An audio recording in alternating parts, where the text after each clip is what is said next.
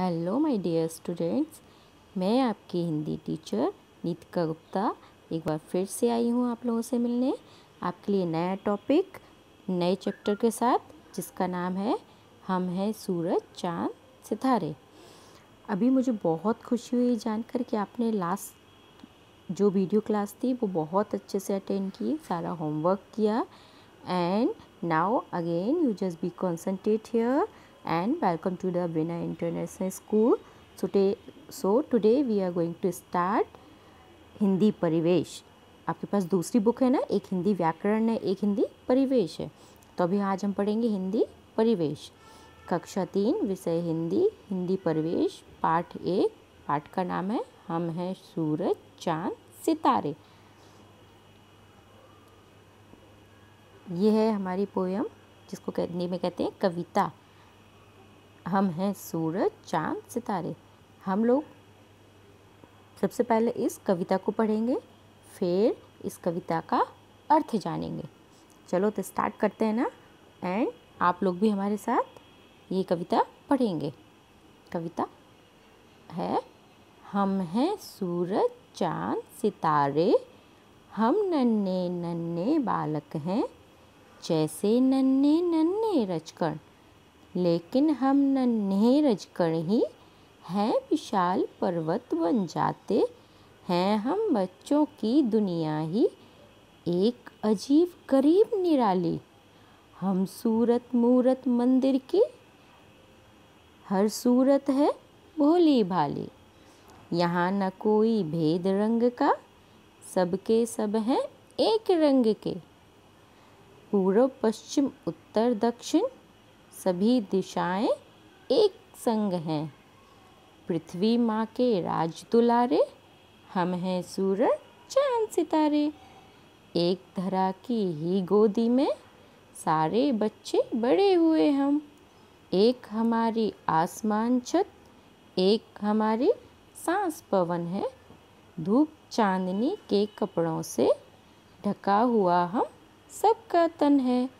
हम हैं एक विश्व के तारे, हम हैं सूरज, चाँद, सितारे। इसके कवि कौन है? ये कविता किसने लिखी है? द्वारिका प्रसाद माहेश्वरी। अभी इसके कवि क्यों है, लेखक क्यों नहीं? आपको पता है, ये कविता है तो कविता को जो लिखता है वो कवि कहलाता है।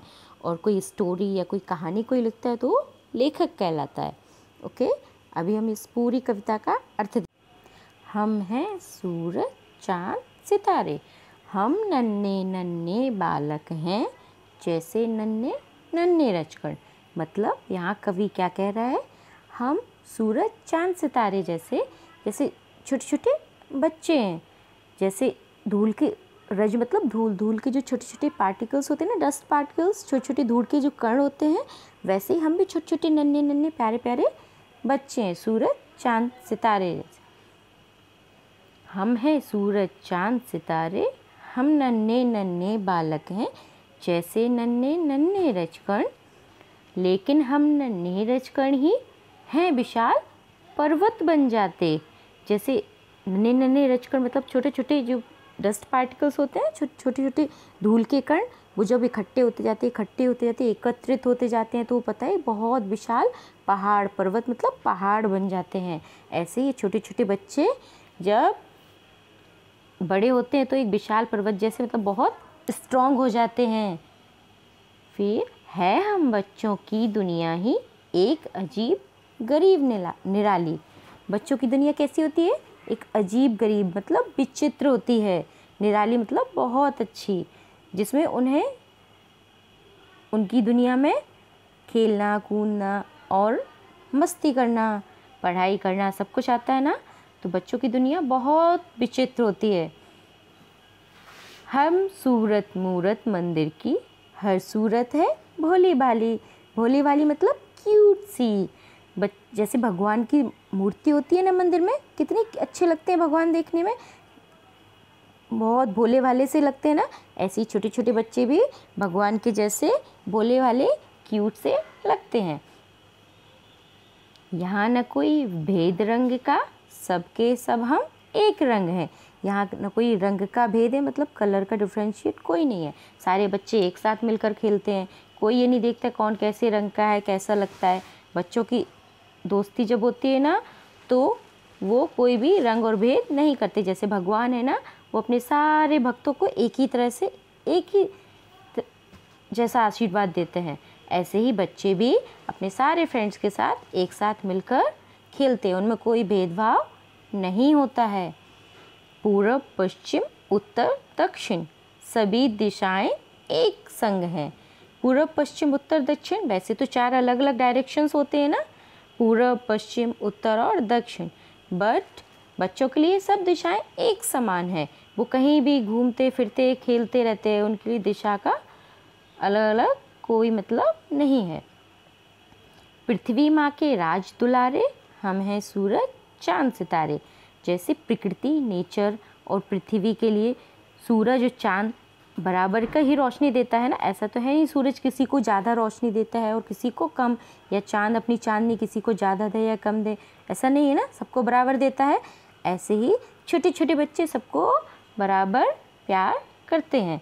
पृथ्वी माँ के राज दुलारे मतलब वो पृथ्वी नेचर के साथ मस्त होके खेलते हैं। उनके लिए कहीं भी किसी से कोई भेदभाव नहीं है। हम हैं सूरज, चाँद सितारे। सूरज, चाँद के जैसे बिना भेदभाव के सबको बराबर बराबर रोशनी देते हैं। एक धरा की ही गोदी में सारे बच्चे बड़े हुए हम। एक धरा मतलब ये पूरी पृथ्वी, धरती। एक ही धरती है ना सारा संसार? उसकी गोदी में सारे बच्चे एक साथ, एक ही जैसे बड़े होते हैं, ऐसा तो है नहीं कोई बहुत जल्दी बड़ा हो जाता है, कोई धीरे धीरे धीरे धीरे बड़ा होता है, नहीं ना? सारे बच्चे एक साथ, एक ही धरती पर बड़े होते हैं। एक हमारी आसमान छत, एक हमारी सांस पवन है। आसमान छत मतलब जो आसमान है, सबके ऊपर बराबर ही है ना? ऐसा नहीं है ना? कहीं पे जा, आसमान है, कहीं पे नहीं है। जिस, जितने भी बच्चे हैं, जो भी हैं, सबके ऊपर एक ही आसमान की छत है। एक हमारी सांस पवन है। सांस मतलब ब्रीदिंग जो होती है ना, हम लोग सांस लेते हैं, हवा से ही तो लेते हैं तो हवा भी हमें बराबर बराबर का सबको एक साथ ही वायु मतलब हवा देती है, जिससे हम सांस लेते हैं। धूप चांदनी के कपड़ों से ढका हुआ हम सबका तन है। चांदनी जो, चाँद अपनी चांदनी बिखेरता है ना इवनिंग में, और स्टार्स भी अपना जब चमकते हैं तो उससे पूरा ऐसे लगता है ना कितना सुंदर लगता है आसमान तो धूप चांदनी के कपड़ों से ढका हुआ हम सबका तन है। अगर सूर्य की धूप पड़ती है और चाँद की चांदनी पड़ती है, उसी से तो हमारा पूरा वायुमंडल, पूरी प्रकृति ढक जाती है। बच्चों को भी ढके हुए है ना सबको। तो कहते हैं ना, जैसे हम अपने तन को कपड़ों से ढकते हैं, ऐसी धूप चांदनी से पूरी प्रकृति को ढके हुए हैं। हम हैं एक विश्व के तारे, हम हैं सूरज चाँद सितारे। एक ही विश्व के तारे मतलब ये वर्ल्ड पूरा कंट्री सब एक ही तो है कोई अलग अलग नहीं है ना? हम हैं सूरज, चाँद, सितारे। सूर्य और चंद्रमा पूरे वर्ल्ड को एक ही नज़र से देखता है, उसके लिए ऐसा तो नहीं इंडिया अलग है कोई कोई कंट्री अलग है। सारी कंट्री पूरे वर्ल्ड को वो एक ही नज़र से देखता है, एक ही जैसी रोशनी देता है और एक ही जैसी हवा देते हैं। एक ही जैसी चाँद चांदनी देता है। इसके पोइट कौन थे द्वारिका प्रसाद, महेश्वरी। आपको अच्छी लगी नहीं कविता? हम हैं सूरज, चाँद सितारे। ये हैं द्वारिका प्रसाद, महेश्वरी, जिन्होंने इतने प्यारे प्यारे बच्चों के लिए इतनी प्यारी सी कविता लिखी है। अच्छी लगी ना आप लोगों को ये कविता? ओके, अभी हम इस कविता का अभ्यास मतलब एक्सरसाइज सॉल्व करेंगे। ठीक है ना? तो सबसे पहले नए शब्द मतलब न्यू वर्ड्स अपने इसमें बहुत सारे शब्द ऐसे पढ़े हैं ना जिसका आपको मतलब नहीं पता तो इसमें इन शब्द का मीनिंग बताया गया है। एक एक करके हम सबको पढ़ेंगे। पहला है नन्हे। नन्हे वर्ड आया था ना? इस कविता में? उसका मतलब होता है नन्हे मतलब छोटे। छोटे मतलब little little small small size रजकण मतलब धूल के कण। मैंने बताया था ना, धूल मिट्टी के जो छोटे छोटे से कण होते हैं उसको रज कर्ण बोलते हैं। रज मतलब धूल कर्ण मतलब कर्ण इंग्लिश में क्या बोलते हैं? Dust particles okay next is विशाल। विशाल मतलब बड़ा मतलब बहुत बड़ा बिग साइज़ उसको क्या बोलते हैं? विशाल। पर्वत, पहाड़। पर्वत आपने देखे हैं ना कितने ऊँचे ऊँचे पहाड़ होते हैं? पहाड़ों को क्या बोलते हैं? पर्वत। मतलब माउंटेन्स नेक्स्ट इज़ निराली निराली मतलब अनोखी। अनोखी मतलब अलग, एकदम सुंदर सी। सूरत मतलब शक्ल। सूरत वर्ड आया था ना उसमें? ये गुजरात वाला सूरत नहीं, वो तो एक प्लेस है। यहाँ सूरत मतलब फेस हमारा जो फेस होता है उसको शक्ल होती है ना हमारी जो, उसको सूरत बोलते हैं। ठीक है? नेक्स्ट इज़ भेद। भेद मतलब अंतर मतलब डिफरेंट अंतर होता है ना सब में? ऐसे उसको क्या बोलते हैं? भेद. एक नया वर्ड कौन सा है? संग. संग मतलब साथ. साथ साथ होते हैं ना एक दूसरे के? वो वर्ड है संग. नेक्स्ट इज़ धरा. धरा मतलब धरती. धरती को एक और क्या बोलते हैं? धरा. मतलब दिस अर्थ ये पूरी धरती. पवन मतलब हवा. मतलब इंग्लिश में क्या बोलेंगे? एयर नया वर्ड सीखा ना, हवा को पवन भी कहते हैं। आपको नहीं पता था? पता था। वेरी गुड तन मतलब शरीर। ये हमारा जो बॉडी है ना, शरीर शरीर है ना, इसको क्या बोलते हैं? तन। विश्व मतलब संसार मतलब दिस वर्ल्ड ये पूरा संसार। इसको क्या बोलते हैं? विश्व। हो गया ना? नए नए शब्द सीखे हैं ना हमने। अभी हम पढ़ेंगे अभ्यास। अभ्यास में क्या है? देखते हैं। कुछ वर्ड्स यहाँ पे दिए हुए हैं, इनको हम पढ़ते हैं, ठीक है? श्रुत लेख मतलब सुनकर लिखना है लिसनिंग एंड राइटिंग स्किल्स आप अपने पेरेंट्स से बोलेंगे, वो ये वर्ड्स बोलेंगे और आपको ये लिखना है वर्ड्स ये मतलब हार्ड वर्ड्स होते हैं ना इंग्लिश में, जैसे कुछ वर्ड्स आपको पढ़ने में नहीं आते, लिखने में तो हार्ड वर्ड्स बोलते हैं ना उनको, ऐसे यहाँ पे ये लिसनिंग एंड राइटिंग स्किल्स के लिए श्रुत लेख मतलब श्रुत मतलब सुनना और लेख मतलब लिखना। पहला कौन सा वर्ड है? रज कण दूसरा, विशाल। तीसरा, पर्वत। फिर, दुनिया। फिर कौन सा है? अजीब। फिर, गरीब। फिर, मूरत। पश्चिम। उत्तर, दक्षिण। पृथ्वी। आसमान। सांस। चांदनी। ठीक है? ये अच्छे अच्छे न्यू न्यू वर्ड्स थे ना, इनको आपको लिखना है। नेक्स्ट कविता की बात। इसमें क्या है? नीचे दिए प्रश्नों के उत्तर दीजिए। आपको इसमें क्वेश्चन आंसर्स दिए हुए हैं ना प्रश्न उत्तर तो आपको प्रश्न पढ़ने हैं ध्यान से और उसके उत्तर देने हैं। आपने पूरी पोएम पढ़ी है, पूरी कविता पढ़ी है तो कविता से आपको आंसर देने हैं। चलो क्वेश्चन आंसर देखते हैं। मौखिक मतलब आपने याद है हिंदी ग्रामर में, हिंदी व्याकरण में एक चैप्टर, पाठ एक पढ़ा था जिसका नाम था भाषा। भाषा के दो रूप थे, कौन से? मौखिक और लिखित। तो यहाँ पे क्या लिखा है? इन प्रश्नों के उत्तर कैसे देना है? मौखिक मतलब सिर्फ़ बोलकर। और इसमें क्या है दूसरे में? लिखित। लिखित मतलब लिख कर इसको हमें लिख कर आंसर देना है। तो पहला कौन सा है? यह कविता किसके बारे में है? तो ये कविता किसके बारे में है? ये कविता प्यारे प्यारे छोटे छोटे बच्चों के बारे में है ना? तो आंसर है, यह कविता नन्हे नन्हे बच्चों के बारे में है। फिर खा नंबर क्या है? नन्हे रजकण क्या बन जाते हैं? मतलब नन्हे जो धूल के कण होते हैं, वो क्या बन जाते हैं? बताया था ना? वेरी गुड याद आ गया आपको? नन्हे रजकण विशाल पर्वत बन जाते हैं। फिर गा नंबर में क्या है? कौन पृथ्वी माँ के राज दुलारे हैं? कौन है राज दुलारे पृथ्वी माँ के? गुड बच्चे पृथ्वी माँ के राज दुलारे हैं। फिर अभी तो ये बोलकर हो गया मौखिक आंसर अभी हमको लिख कर देना है उत्तर। का नंबर में क्या है? एक हमारी आसमान छत, एक हमारी सांस पवन है। इन पंक्तियों के द्वारा बच्चे क्या कहना चाहते हैं? तो ये जो दो लाइंस दी हैं ना, इनके द्वारा बच्चे क्या कहना चाहते हैं? इनका आंसर है, हम सबकी एक छत आसमान है और और हमें सांस लेने, सांस के रूप में एक जैसी हवा मिल रही है। मतलब एक हमारी आसमान छत, एक ही आसमान की छत है और एक ही जैसी हवा सबको मिलती है। मैंने बताया था ना कि हवा सबको बराबर मिलती है, ऐसा नहीं किसी को कम दे और किसी को ज़्यादा। नेक्स्ट क्वेश्चन कौन सा है? खा नंबर चारों दिशाओं के नाम लिखिए। आपने दिशाएँ पता है ना? चारों कौन सी होती हैं? वेरी गुड सबको पता है। कौन कौन सी होती बताओ जरा। पूरब, पश्चिम, उत्तर दक्षिण very good next second number question में क्या है? कविता की पंक्तियाँ पूरी कीजिए। आपने पूरी कविता पढ़ी है ना? पहले पढ़ी थी, फिर उसका अर्थ देखा था। तो इसकी पंक्तियाँ पूरी कीजिए मतलब लाइन पूरी कीजिए। पूर्व, पश्चिम और उत्तर, दक्षिण। पूर्व, पश्चिम, उत्तर, दक्षिण। सभी दिशाएँ एक संग हैं।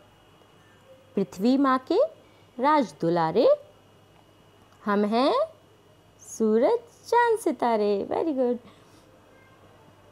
अभी जो शब्द एक दूसरे के समान अर्थ बताते हैं, उन्हें पर्यायवाची या समान अर्थ वाले शब्द कहते हैं। पर्यायवाची आपको पता है ना? सिनोनिम्स इंग्लिश में बोलते हैं जो मतलब उनके मीनिंग सेम होते हैं। तो अभी देखते हैं सबके पर्यायवाची। सूरज का क्या होता है? सूर्य और रवि। चाँद का कौन सा होता है? शशि और इंदु। पर्वत का पहाड़ और शैल। आसमान का आसमान का कौन सा होता है? आकाश और गगन। Very good next second number क्या है? नीचे दी गई पंक्तियों को पढ़िए और सही उत्तर चुनकर सही का निशान लगाइए। तो इसमें क्या लिखा है? धूप चांदनी के कपड़ों से ढका हुआ हम सबका तन है। हम हैं एक विश्व के तारे, हम हैं सूरज, चाँद, सितारे। अभी ये हमने फोर लाइंस पढ़ी हैं, चार लाइन पढ़ी हैं कविता की, अब इनसे ही हमें सही टिक लगा के आंसर देना है। का नंबर क्या है? किसके कपड़ों से सबका तन ढका है? किसके कपड़ों से ढका है? धूप चांदनी के कपड़ों से। तो रेशम के, तारों के या धूप चांदनी के? आंसर क्या है? धूप चांदनी के। तो इसमें जो सर्कल है, उसमें टिक करना है। नेक्स्ट खा नंबर तन से मिलता जुलता तुक वाला शब्द कौन सा है? मतलब राइमिंग वर्ड्स होते हैं ना, एक ही जैसा राइम निकलता है, एक ही जैसा तुक निकलता है, वही वर्ड्स देखने हैं। तन से क्या है? तम, धन या हम। तो कौन सा है? राइमिंग वर्ड्स धन। वेरी गुड नेक्स्ट गा नंबर, विश्व का सामानार्थी शब्द शब्द कौन सा है? विश्व का सामानार्थी शब्द कौन सा है?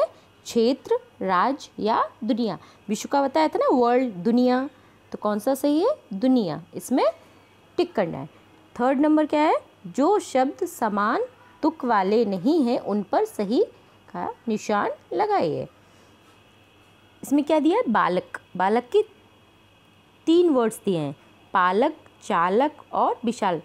समान तुक वाले मैंने बताया ना राइमिंग वर्ड्स इंग्लिश में होते हैं, ऐसे ही सब हिंदी में समान तुक वाले वर्ड्स होते हैं। तो एक ही जैसा आवाज़, ऐसे, एक ही जैसा साउंड निकलना चाहिए। तो बालक, पालक, चालक, विशाल, इसमें कौन सा लगे विशाल। इसमें टिक करना है। नेक्स्ट कौन है? संग संग में क्या है? विश्व, ढंग, रंग। ढंग, रंग संग एक ही जैसा हो गया बट विश्व अलग है, ठीक है? फिर क्या है? सागर। धवन, हवन। इसका क्या है? पवन। पवन का क्या है? सागर, धवन, हवन। तो पवन, धवन, हवन एक जैसा है, सागर इसमें अलग है। तो सागर में टिक करना है। नेक्स्ट क्या है? तन, मन, नन्हे, धन। तो इसमें तन, मन और धन एक जैसा है और नन्हे वर्ड अलग है। तो इसमें नन्हे में टिक करना है। फिर आप मूल्य परक प्रश्न। इसमें क्या लाइफ स्किल्स के जो क्वेश्चंस हैं, आपकी कक्षा में कोई बच्चा दूसरे प्रदेश से आया है ना, बहुत सारे ऐसे बच्चे होंगे जो अलग अलग प्रदेश से आए होंगे। उसे अपने प्रदेश की किन किन विशेषताओं के बारे में पता है, उनको बताइए। तो ये तो क्लास में ही जब हम मिलेंगे, तब सभी लोग डिस्कस करेंगे, सब अपने अपने स्टेट के बारे में बताएँगे। आप अपने विद्यालय की एकता बनाए रखने के लिए क्या क्या योगदान दे सकते हैं, ये भी हम तभी डिस्कस करेंगे। फिर सोच समझ की बात थिंकिंग एंड लॉजिकल स्किल कविता में बच्चों को सूरज, चाँद, सितारे क्यों कहा गया है? क्योंकि सूरज, चाँद, सितारों की तरह ही बच्चे भी बहुत मासूम होते हैं और वो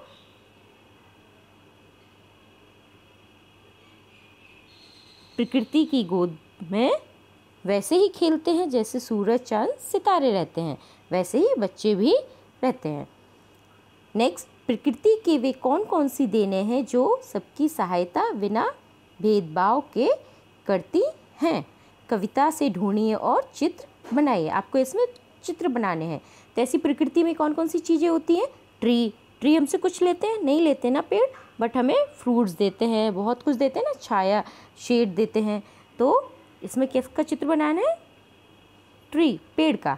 फिर सूरज का, वो हमें रोशनी देते हैं ना सूरज तो हमें सूरज का चित्र बनाना है। फिर चंद्रमा का भी बनाना है।